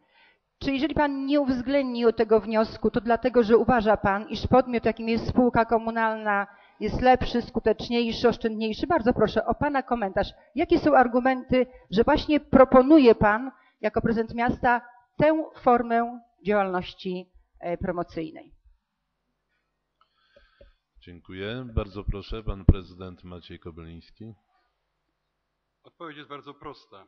Tą formę proponowała wielokrotnie pani Krystyna Danilecka-Wojewódzka, jak pewno sobie pani przypomina. Tą formę proponowała Platforma wielokrotnie i do tej formy ja się przychyliłem. Nie rozumiem drugiego, trzeciego czy jakiegokolwiek dna w tym pytaniu. No chyba, że jest tylko jedno dno. Ale myślę, że to, o czym ja myślę na co dzień, to Państwa nie interesuje w tej chwili zupełnie. Pytania i stwierdzenia te mają chyba służyć temu, żeby jednak nie uchwalić tej spółki.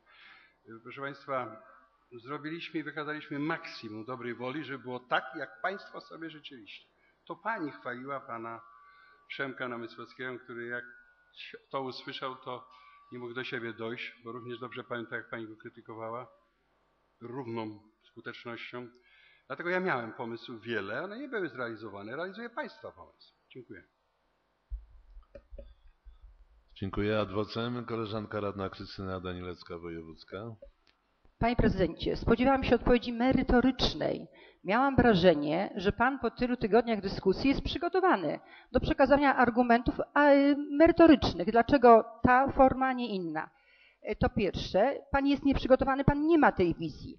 E, Druga rzecz. Ja nie byłam absolutnie, choć byłam autorką e, wniosku sprzed półtora roku wygłoszonego w radiu w dyskusji także z Przemkiem Namysłowskim na temat wyprowadzenia poza strukturę ratusza tej działalności promocyjnej, ale absolutnie nie określałam podmiotu, który miałby to robić. Bardziej skłonna byłam w kierunku stowarzyszeń, organizacji pozarządowych. Natomiast na pewno nie spółki, więc pan prezydent po prostu powiedział nieprawdę, mówiąc najbardziej delikatnie. E, Wreszcie nie ma żadnego ukrytego dna, ani drugiego, ani trzeciego. Moje pytanie naprawdę było merytoryczne i naprawdę służyło temu, że Pan mnie przekonał mery- merytorycznymi, że forma spółki jest skuteczniejsza niż na przykład inne podmioty, które mogłyby realizować działania promocyjne w oparciu o przygotowane, e, przyjęte przez Radę Miejską, zapłacone przez miasto bardzo dobre dokumenty. Dziękuję. Pan prezydent Maciej Kobyliński. Panie Przewodniczący, ja bym chciał uniknąć takiego ping-ponga. Ja w przeciwieństwie do pani Danileckiej nie jestem zakochany w swoim głosie i nie muszę mówić, mówić, mówić. A ja jestem przygotowany na tym właśnie poziomie, o którym pani no chyba nie ma po- pojęcia.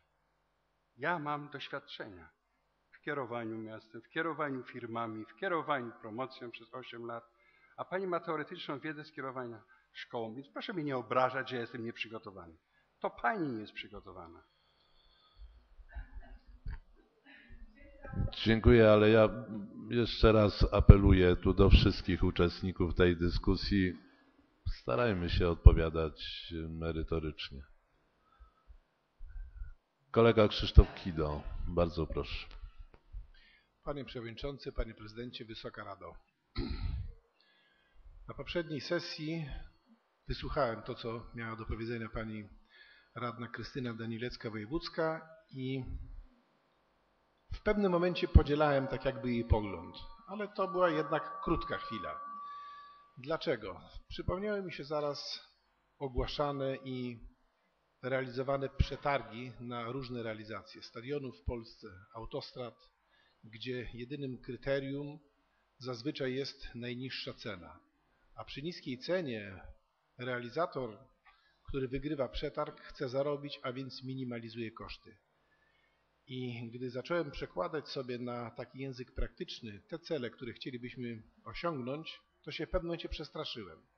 Gdybyśmy poszli w tym kierunku, co proponowała pani radna Krystyna, to wydawalibyśmy może niewielkie pieniądze, ale uzyskiwalibyśmy moim zdaniem niewielkie efekty. A jest o co walczyć. Jest o co walczyć o turystów, o inwestorów, o wizerunek, o markę miasta Słupska. Są to rzeczy nie do wycenienia i forma oddziaływania na spółkę, na jej zarząd, łącznie z tym, o czym mówił przewodniczący Kujaski, czyli poprzez organy spółki, jest możliwe, ale także my mamy, my będziemy mieli realny wpływ na to, w jaki sposób będzie funkcjonować i co będzie realizowane. Dziękuję.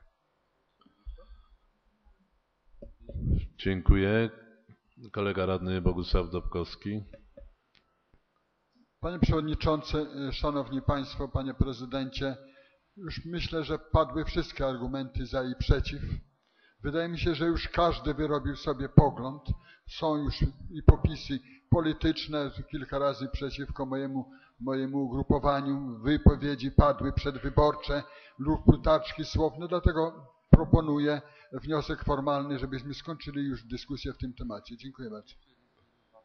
Moment, moment. Proszę nie tak pochopnie z tymi wnioskami o zamykanie dyskusji. Jeśli są pytania, to jednak uważam, że powinniśmy nie krępować tej możliwości. E, Jeszcze raz e, Robert Kujawski, wiceprzewodniczący Rady, ale już w tej sprawie po raz ostatni. Moment, moment, zaraz go przegłosuję. Proszę, pamiętam ten regulamin, o którym jest i też regu i ten Zgłosiłem regulamin mówi również o tym, że należy zgłaszać się do zabrania głosu. Szanowny Panie Przewodniczący, Szanowny Panie Prezydencie, Panie prezydencie, proszę odpowiedzieć na pytanie, dlaczego w ciągu dwóch tygodni został zmieniony jeden bardzo ważny zapis umowy spółki. Mianowicie w poprzednim paragrafie ósmym nie było mowy o tym, że kapitał zakładowy spółki do 31 grudnia 2015 roku będzie podwyższony do kwoty 500 tysięcy złotych. Teraz czytamy, podwyższenie kapitału zakładowego do kwoty 500 tysięcy złotych nie stanowi zmiany umowy spółki. Niech pan prezydent jako zgromadzenie wspólników tej przyszłej spółki odpowie na pytanie, dlaczego jest taki zapis, to po pierwsze, i w jaki sposób te udziały będą, będą, będą obejmowane i jaki pan planuje udział miasta w tych udziałach. Dziękuję. Czy są jeszcze inne pytania? Bo żeby nie, ale może tak. Tym razem poproszę o odpowiedź i za chwilę przegłosuję ten wniosek kolegi Dobkowskiego, chociaż uważam, że jest przedwczesny. Bardzo proszę, pan prezydent Maciej Kobryński.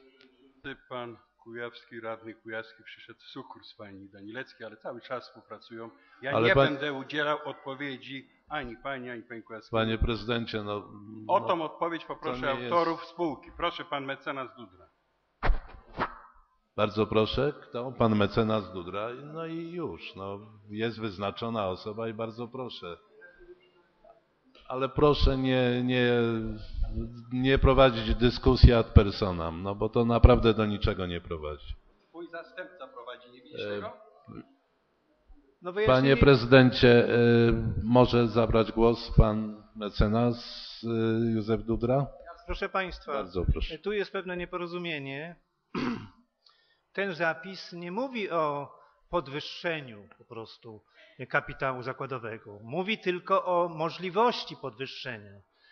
Jest to taka tradycyjna formuła, bo po prostu tak, podwyższenie kapitału, jeżeli nie ma zapisanej tej możliwości w umowie spółki, to oznacza, może nastąpić tylko w formie zmiany umowy spółki. Wówczas wymaga aktu notarialnego. Natomiast tu, jeżeli będzie, jest taka możliwość zapisana w samej umowie spółki, to to podwyższenie kapitału może nastąpić na podstawie uchwały yy, no, Zgromadzenia Wspólników.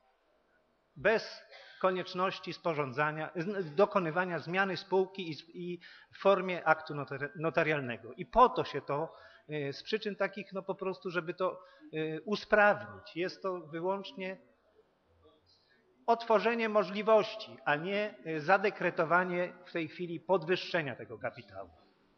Zaraz, zaraz.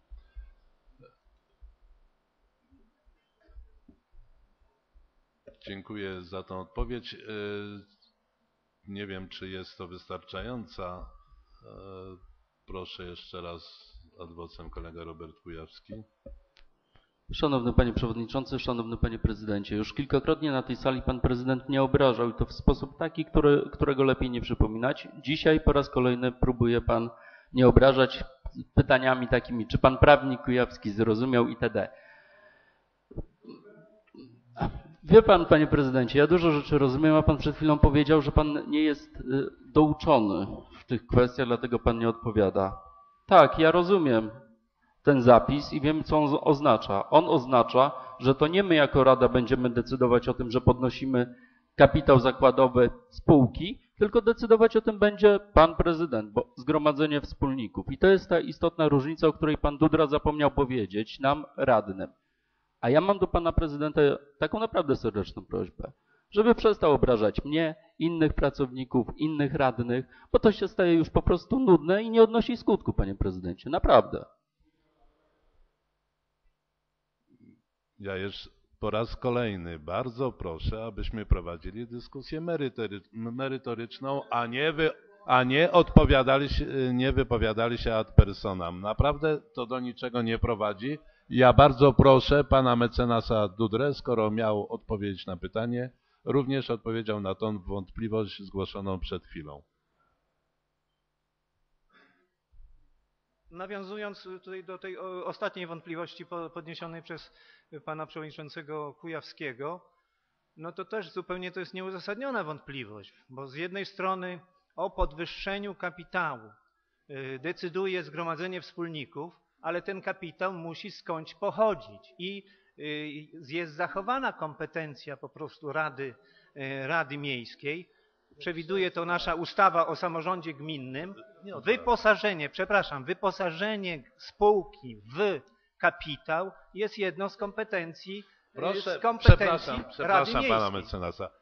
Zarówno kolegę wiceprzewodniczącego, jak i pana prezydenta przywołuję do porządku. Czuję się przywołany, panie przewodniczący. Y, Pozwoli pan, że ja będę decydował o tym, w jakiej kolejności, co dzieje się na tej sali. Czy ja może jeszcze jedno zdanie, to czyli jakby potwierdzę, że, że żeby doszło do podwyższenia kapitału, będą potrzebne dwie, e, dwie decyzje. Jedna decyzja Rady Miejskiej i w związku z tym Rada Miejska zachowa pełną kontrolę nad wyposażeniem spółki w ten kapitał, a z drugiej strony e, właśnie uchwała, e, uchwała Zgromadzenia Wspólników, czyli jeżeli spółka będzie stuprocentowa miejska, no to czyli praktycznie prezydenta miasta. Czyli dwa, dwie, dwie pozytywne decyzje. Dziękuję. Y, Poddam pod głosowanie wniosek kolegi Dobkowskiego, chyba że go wycofam, bo chociaż u, uważam, że jeśli to tylko jest po to, żeby przerwać dyskusję, no to chyba nie najlepszy pomysł. Proszę y, planszę do głosowania. Kto z Państwa radnych jest za wnioskiem kolegi Bogusława Dobkowskiego o zakończenie dyskusji w tym punkcie? Proszę o podniesienie ręki naciśnięcie przycisku. Kto jest przeciwny? Kto się wstrzymał? Dziękuję. Proszę wynik. Głosowało 22 radnych, 10, 12 głosów oddano za, 10 głosów było przeciwnych. Stwierdzam, że wniosek uzyskał większość. Zamykam dyskusję w tym punkcie. Przechodzimy do głosowania.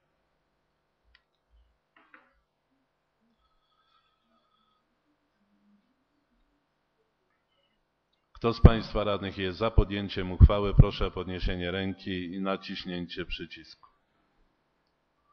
Dziękuję. Kto jest przeciwny? Dziękuję. Kto się wstrzymał? Dziękuję. Wszyscy obecni na sali oddali swój głos. Proszę wynik głosowania. Głosowało 21 radnych, 13 głosów oddano za, 7 głosów było przeciwnych, 1 głos wstrzymujący się. Stwierdzam, że Rada Miejska większością głosów podjęła uchwałę w sprawie utworzenia Agencji Promocji Regionalnej Ziemia Słupska Spółka z ograniczoną odpowiedzialnością w Słupsku. Przechodzimy do punktu podjęcie uchwały w sprawie likwidacji jednostki budżetowej Centrum Informacji Turystycznej. E, Panie prezydencie, kto przedstawi wniosek? E, Bardzo proszę pana wiceprezydenta Krzysztofa Sikorskiego o przedstawienie projektu uchwały wraz z uzasadnieniem.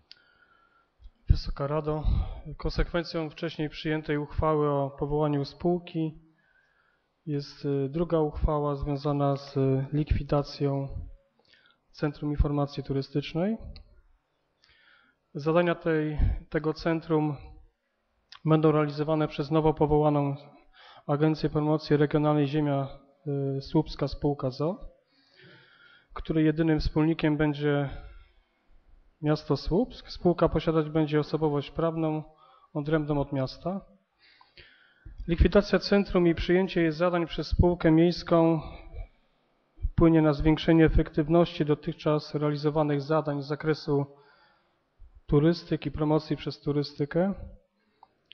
Spółka świadczyć będzie usługi na rzecz innych podmiotów. Szanowni Państwo, w tym miejscu należy podziękować za dobrą pracę wszystkich osób, które były zaangażowane w promocję miasta Słupska. Myślę, że ta, te, ta jednostka budżetowa Centrum Usług Turystycznych będzie takim dobrym fundamentem do tego, by nowo powstała spółka mogła się rozwijać i promować naszą piękną ziemię słupską. jeżeli chodzi o skutki finansowe, przyjęcie bieżącego stanu budżetu centrum przez miasto w przyszłości, brak będzie dalszego finansowania Centrum Informacji Turystycznej przez, z budżetu miasta. Proszę Państwa, oczywiście konsekwentnie do przyjętej wcześniej uchwały o zagłosowanie w sprawie likwidacji jednostki budżetowej Centrum Informacji Turystycz- Turystycznej Ziemia Słupska. Dziękuję. Dziękuję panu prezydentowi. Czy ktoś z państwa, bardzo proszę, koleżanka Krystyna Danielecka jako pierwsza w dyskusji. Panie prezydencie Krzysztofie, mam pytanie. E, To bardzo pięknie, że pan podkreślił rzeczywiście wieloletnią, dwudziestoparoletnią nawet pracę szefowej Centrum e, Informacji Turystycznej i innych pracowników. E, Czy ten potencjał doświadczenia, wiedzy i umiejętności, doświadczenie jest bardzo ważne, pan prezydent powiedział, że ma to doświadczenie i ceni, jest ono ważniejsze niż nawet merytoryczne przygotowanie. Czy pan y, ma jakąś ofertę, propozycję, jak ten potencjał pracowników Centrum Informacji Turystycznej wykorzystać w działalności promocyjnej naszego miasta? Dziękuję. Jeszcze kolega e, wiceprzewodniczący Robert Kujawski. Bardzo proszę. Szanowny Panie Przewodniczący, Szanowny Panie Prezydencie. Dwa tygodnie temu w czasie sesji otrzymaliśmy informację, że tak naprawdę jeszcze pod podjęciem, przed podjęciem uchwały o likwidacji CIT pracownikom zostały wręczone wypowiedzenia. Chciałbym uzyskać od Pana Prezydenta informację, czy faktem jest, że pracownikom CIT-u przed podjęciem uchwały o likwidacji jednostki wręczono wypowiedzenia i chciałbym się dowiedzieć, jakie były podstawy formalno-prawne wręczenia takich wypowiedzeń i chciałbym się dowiedzieć, czy powstająca spółka, ta spółka, którą uchwaliliśmy w dzisiaj akt notarialny będzie zawarty, czy przejmie tych pracowników Centrum Inicja Informacji Turystycznej, na przykład w drodze artykułu 23 Kodeksu Pracy. Dziękuję. Dziękuję. Nie widzę więcej zgłoszeń. Pan prezydent Ryszard, e, przepraszam, Krzysztof Sikorski. Wcześniej Państwo składaliście y, wniosek o autonomiczności spółki. Oczywiście rozmowy z pracownikami CIT-u odbędą się i najlepsi zostaną. I dajmy możliwość autonomicznej decyzji nowym władzom spółki, który z pracowników przejdzie i na jakich zasadach. Nie jestem w tej chwili, nie mam w tej chwili nawet takiej mocy, panie y, radny Robercie Kujawski, bo to zostawmy już przyszłym władzom spółki. Natomiast najlepsi zostaną i, i tego gwarancję możecie Państwo mieć w przyszłości, obserwując ruchy kadrowe nowo powołanej spółki. Co do zwolnienia, e, podstaw zwolnienia, bardzo proszę o odpowiedź. Bardzo proszę, pan prezydent Maciej Kobliński. Gdyby uchwała o, panie przewodniczący Wysoka Rado, gdyby uchwała o utworzeniu spółki przy automatycznym niejako likwidacji CIT-u nie przeszła, w sposób przewidziany prawem pracy można wycofać wypowiedzenie. Tak się robi zawsze i wszędzie. Chodziło mi o zachowanie terminów, żeby jeżeli ta spółka zostanie zlikwidowana, żeby już jeden miesiąc, czyli lipiec, mieć zaliczony, bo niektórzy z pracowników mają trzymiesięczne wypowiedzenie. Jest to zgodne z prawem. No mamy tutaj pana mecenasa Dudrę, więc odpowie, gdyby pan, e, pan, Kuja, pan Kujawski radny miał jeszcze wątpliwości. Natomiast ja chcę rozszerzyć wypowiedź pana prezydenta Krzysztofa, jak to ładnie powiedziała pani Danilecka, mianowicie pan, mm, jak odszedł pan dyrektor, rozmawiałem z nim kilkakrotnie, między innymi dzisiaj, Chciałem zrobić z nimi wszystkimi spotkanie, kolejne, chyba piąte już, mówię o wszystkich. Ale wyjeżdża, wyjechał dzisiaj na 10 dni, po 10 dniach natychmiast się do mnie zwróci i my będziemy z wszystkimi rozmawiali enty raz pracownikami. Bo jeżeli Państwo pamiętacie, bo to było i w prasie i tutaj mówiłem, przyrzekłem, że nikt nie zostanie bez pomocy. Powtarzam, nikt. To jest decyzja nieznana mi jeszcze władz spółki. Natomiast y, z tego, co się orientuję, zamierzają zatrzymać pracowników, tylko nie wiem, czy wszystkich. Jeżeli chodzi o pracowników wydziału, zwróćcie Państwo uwagę, tam, tam jest więcej pracowników, jak to przeszło bezboleśnie. Z wszystkimi rozmawiałem co najmniej raz, z kilkoma po trzy razy. Bo jeżeli ktoś nie znalazł tej pracy, dostawał ofertę. Oczywiście mówię o tych, którzy nie dostali, yy, nie zostali w ratuszu. To były dwie osoby, które zostały. Pozostali albo znaleźliśmy im pracę, albo oni sobie znaleźli. Wszyscy przyjęli to, no na początku oczywiście z żalem, ale potem przyjęli to z zadowoleniem, w tym sensie, że nie, nie, nie składają, nie roszczą sobie żadnych pretensji. Tak samo będzie z CIT-em. Chcę Państwa zapewnić, że jest to moja zasada, którą stosuję cały czas. Przynajmniej bardzo się staram. Dziękuję. Dziękuję. Czy pan mecenas Józef Dudra może podać tą podstawę formalno-prawną, żeby już nie było dyskusji?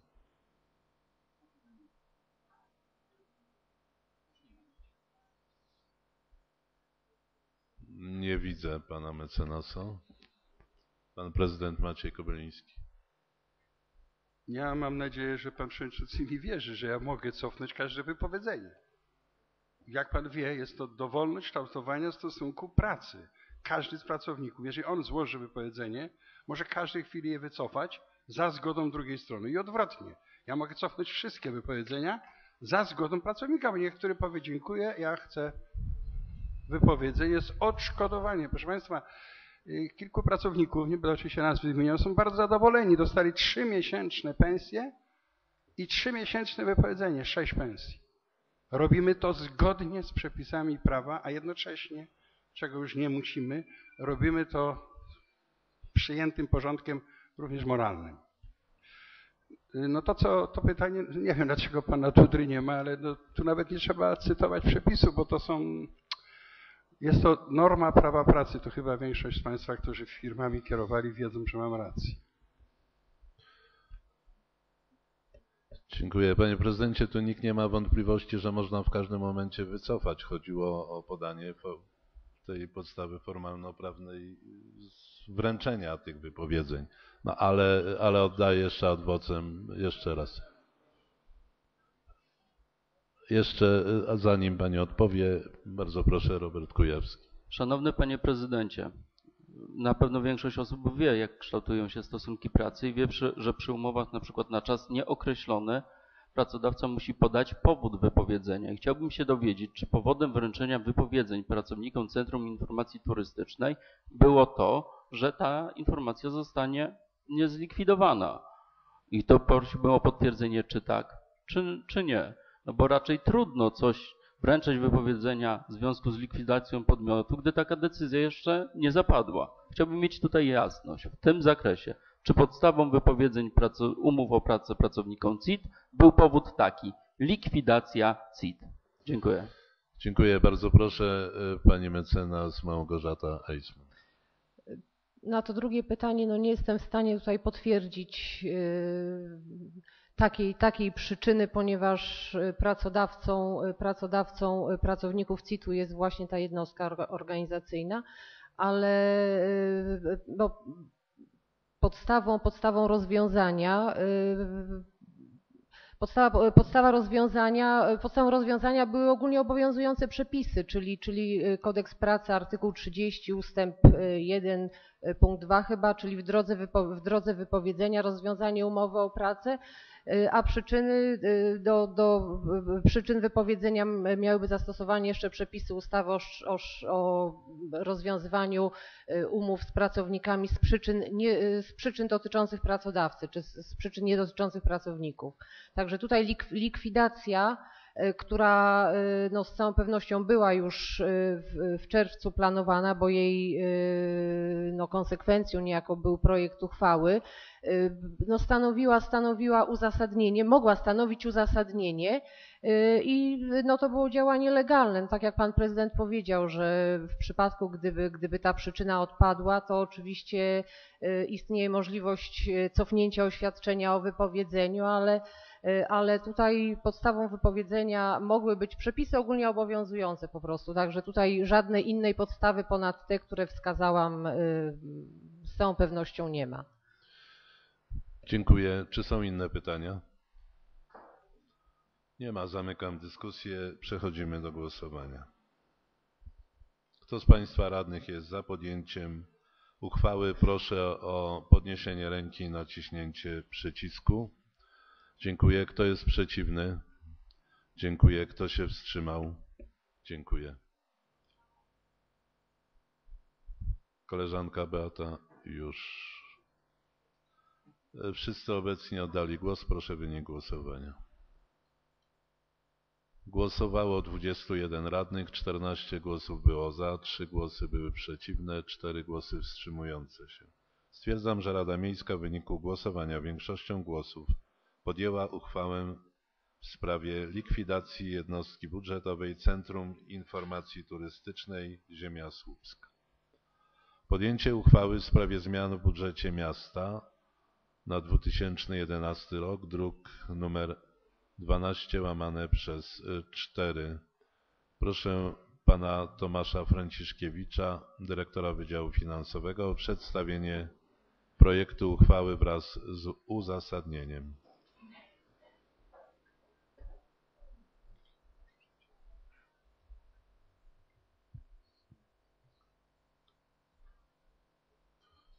Panie Prezydencie, Panie Przewodniczący, Wysoka Rado. Uchwała druk nr 12 przez 4 jest konsekwencją uchwał wcześniejszych, czyli likwidacji yy, powołaniu spółki oraz likwidacji Centrum Integra Informacji Turystycznej. Yy, w załączniku nr 1 yy, kwota w wysokości 80 480 jest to, są to środki yy, przesunięte z Wydziału z Biura Promocji, natomiast w załączniku nr 2 kwota 19 520 są to środki z Centrum Informacji Turystycznej. Również w załączniku nr 1 po stronie zwiększeń 100 tysięcy złotych jest kwota w paragrafie 6010 potrzebna jako wniesienie kapitału zakładowego do spółki Agencja Promocji Regionalnej Ziemia Słupska. W wyniku podjęcia powyższej uchwały budżet, deficyt budżetu miasta Słupska nie ulegnie zmianie i będzie wynosił 55 994 975 zł. Dziękuję. Dziękuję. Czy ktoś z Państwa radnych chciałby zabrać głos w sprawie przedłożonego projektu? Zgłoszeń nie widzę. Przechodzimy do głosowania. Kto z Państwa radnych jest za podjęciem uchwały, proszę o podniesienie ręki naciśnięcie przycisku. Dziękuję. Kto się wstrzymał? Przepraszam, kto jest przeciw? Kto się wstrzymał? Dziękuję. Obecni na sali oddali swój głos. Proszę wynik głosowania. Głosowało 21 radnych, 17 głosów oddano za, 4 głosy były przeciwne, 2 głosy wstrzymujące się. Stwierdzam, że Rada Miejska w wyniku głosowania 17 głosów oddano za, oddano za, 2 były przeciw i 2 wstrzymujące się. Stwierdzam, że Rada Miejska w wyniku głosowania większością głosów podjęła uchwałę w sprawie zmian w budżecie miasta na 2011 rok.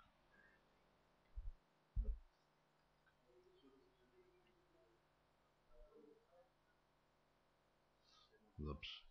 Podjęcie uchwały w sprawie zmian w budżecie miasta na 2011 rok, druk numer 12 przez 5. Pana dyrektora Tomasza Franciszkiewicza proszę o przedstawienie projektu wraz z uzasadnieniem. Konsekwencją uchwały Rady Miejskiej w Słupsku z dnia 27 kwietnia bieżącego roku w sprawie połączenia jednostek budżetowych Zarządu Transportu Miejskiego w Słupsku, Zarządu Terenów Zieleni Miejskiej i Cmentarzy Komunalnych w Słupsku i Zarządu Dróg Miejskich powstała, powstała nowa jednostka Zarząd Infrastruktury Miejskiej w Słupsku. Wpłynęły wnioski do prezydenta miasta Słupska Macieja Koblińskiego w sprawie przesunięcia środków. I tak, w załączniku numer 2 i 4 przesunięte środki są w paragraf w rozdziałach 616 oraz 995 na łączną kwotę 15 202 przepraszam, 15 milionów 202 345 zł. Natomiast w załączniku 1 i 3 przesunięcia dotyczą rozdziałów 604, 615 oraz 616 i 695 na łączną kwotę 9 112 458 zł. Deficyt również w przypadku tej uchwały nie, ule, nie ulega zmianie i po podjęciu tej uchwały wynosi 55 994 975 zł. Dziękuję. Dziękuję. Czy ktoś z Państwa chciałby zabrać głos w sprawie przedłożonego projektu? Proszę uprzejmie, Robert Kujawski, wiceprzewodniczący Rady. Dziękuję Panie Przewodniczący. Szanowny Panie Przewodniczący, Szanowny Panie Prezydencie, Wysoka Rado. Panie Prezydencie, mam jedno pytanie. Dotychczasowo dysponentem tych środków był Zarząd Dróg Miejskich. Zarząd Dróg Miejskich korzysta także ze środków unijnych. Są zaplanowane środki unijne. Zmienia się dysponent tych środków. Czy nie jest zagrożone, czy istnieje jakieś niebezpieczeństwo, że z powodu zmiany podmiotu, który jest dysponentem i wykonawcą w chwili obecnej robót, nasze na przykład dofinansowania z przyczyn formalnych mogą być zagrożone? Dziękuję. Dziękuję. Bardzo proszę, pan prezydent Maciej Kobyliński. Panie Przewodniczący, Wysoka Rado, nie. Dziękuję. Czy są inne pytania? Zgłoszeń nie widzę. Przechodzimy do głosowania. Kto z Państwa jest za przyjęciem za podjęciem uchwały proszę o podniesienie ręki i naciśnięcie przycisku. Kto jest przeciwny? Kto się wstrzymał? Dziękuję. Wszyscy obecni oddali swój głos. Proszę wynik głosowania. Głosowało 21 radnych, 17 głosów oddano za, 4 głosy były wstrzymujące się. Stwierdzam, że Rada Miejska w wyniku głosowania większością głosów podjęła uchwałę w sprawie zmian w budżecie miasta na 2011 rok. Podjęcie uchwały w sprawie zmian w wieloletniej prognozie finansowej miasta Słupska na lata 2011-2029. Projekt na druku numer 12 łamane przez 6. Pana dyrektora Tomasza Franciszkiewicza ponownie proszę o przedstawienie projektu i uzasadnienia. Podstawą y, podjęcia uchwały y, druk numer 12 y, przez 6 jest oczywiście artykuł 229 ustawy o finansach publicznych, ale również uchwała w sprawie połączenia jednostek, a jednocześnie konsekwencją tego jest, ta konsekwencja polega na zmianie dysponenta realizującego poszczególne zadania inwestycyjne. Yy, uchwała w sprawie zmian w wieloletnim programie finansowej zawiera również yy, zmiany przesunięcia środków dla nowo powołanej spółki promocyjnej w wysokości 100 tysięcy złotych. Jak Państwo wiecie, środki, yy, wydatki bieżące są przesuwane do wydatków majątkowych. Oprócz tego pod uzasadnieniem jest taki dokument, który nazywa się Zmiany dotyczące przedsięwzięć wieloletniej prognozy finansowej miasta Słupska na lata 2011-2029, przedstawiający zmianę wszystkich zadań inwestycyjnych oraz y, wydział lub jednostkę, czyli dysponenta realizującego te zadania. Dziękuję. Dziękuję. Czy ktoś z radnych chciałby zabrać głos w sprawie przedłożonego projektu? Zgłoszeń nie widzę. Przechodzimy do głosowania. Kto z Państwa jest za podjęciem uchwały, proszę o podniesienie ręki i naciśnięcie przycisku. Dziękuję. Kto jest przeciwny? Dziękuję. Kto się wstrzymał? Dziękuję.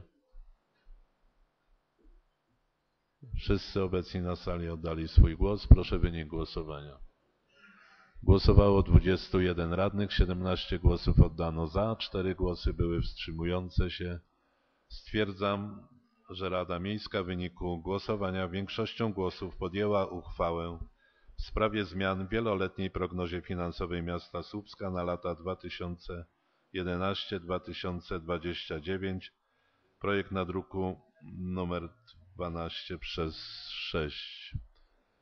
E, prosił o głos pan prezydent Kobyliński przed zamknięciem sesji. Wobec tego udzielam głosu. Panie Przewodniczący, Wysoka Rado, Szanowni goście, którzy jeszcze wytrwali. Mam kilka informacji, ponieważ nie mogłem, znaczy nie było potrzeby pisemnej informacji składać, którą sesja jest nadzwyczajna, ale powiem o kilku sprawach, może tych najbliższych nam w związku z wycofaniem uchwały o powołaniu skarbnika. Pan Franciszkiewicz dniem dzisiejszym jest PO skarbnikiem, bo taki obowiązek, szczerze mówiąc, był od początku. Teraz już nie mogę tego dłużej, dłużej wstrzymywać. Komentował oczywiście nie będę, dlaczego wycofał, podał to publicznie do, do wiadomości.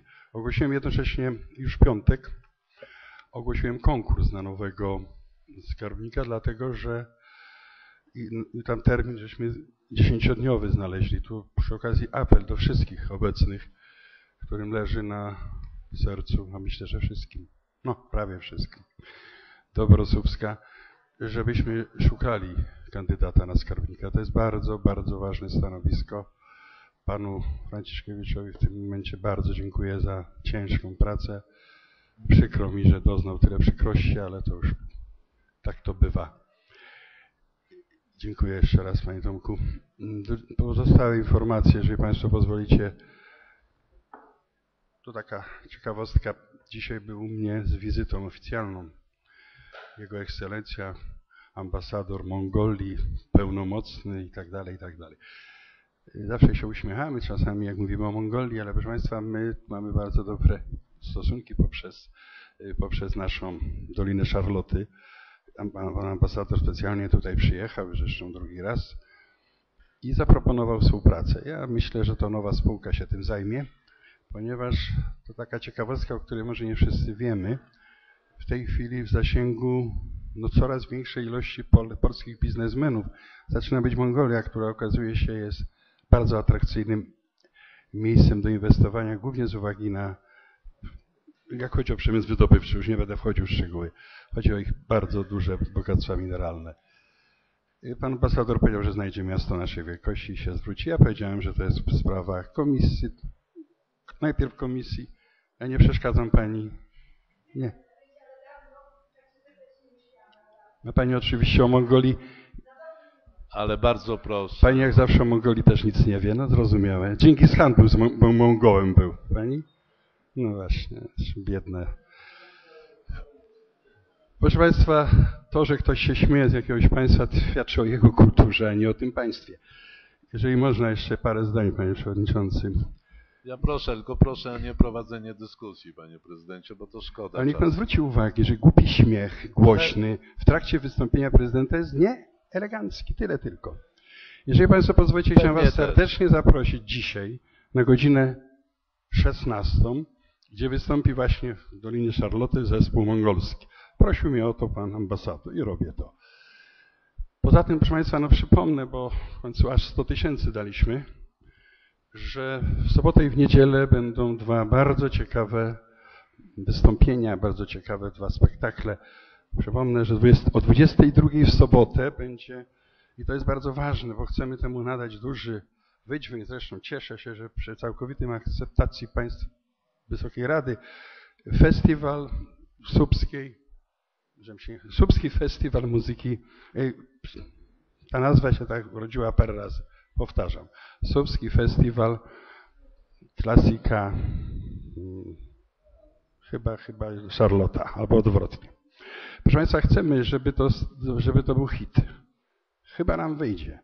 Będzie 30 arii w wykonaniu dwóch bardzo znanych, pozostałych mniej znanych, ale bardzo zdolnych, o pięknych głosach śpiewaków, pań i panów. Będzie 30-osobowy chór, będzie orkiestra, będzie dyrygent nasz, a obok niego dyrygent z Nowego Jorku.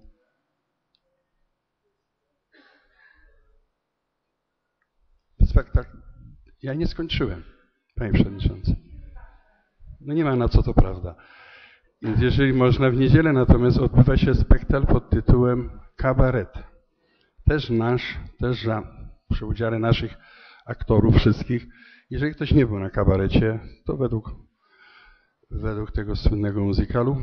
To naprawdę, proszę Państwa, warto być. Myśmy dali na to pieniążki wspólnie z Koszalinem i mm, gminą Kobylnica. I też przypomnę, że mamy dziesięcio letni kontrakt na to, wyłączność i ten spektakl może być grany tylko i wyłącznie przez Słupski Teatr i już są zgłoszenia z Berlina i z Wiednia. Korzystając z okazji, chciałem, proszę Państwa, ustosunkować się króciutko bardzo do dzisiejszej sesji.